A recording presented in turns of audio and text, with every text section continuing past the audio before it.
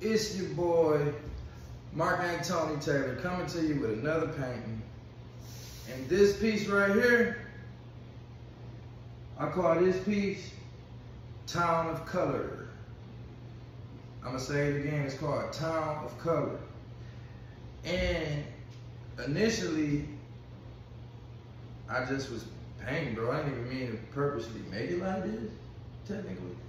But as I kept going, what happened to me, it ended up looking like a like a town or something, like you know, like a city or somebody viewing it. That's what I took from it.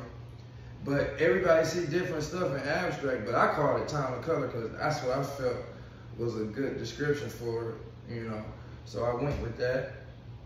And to be honest, I like how I laid out my colors. Like uh, lately, I wasn't doing too many colors on the abstracts. I was going for more just, uh,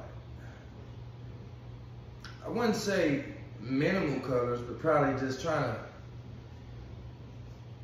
fit them, make them fit, you know, not doing too much, trying to make it fit. But with this one, I just went all the way out. I just, fuck it, basically. I said, you know, I'm gonna let it go and just whatever color I feel like putting on the canvas is what I'll put on there. And this is what ended up coming out, the town of color. And I am very happy with it. Um, I hope you guys like it. I know I like it, and until I like something, I won't put it out. So I'm happy with it. I hope you guys like it. Uh, it's your boy Mark Antony Taylor coming to you with another video soon. You already know what it is. Peace, love, and blessings, baby.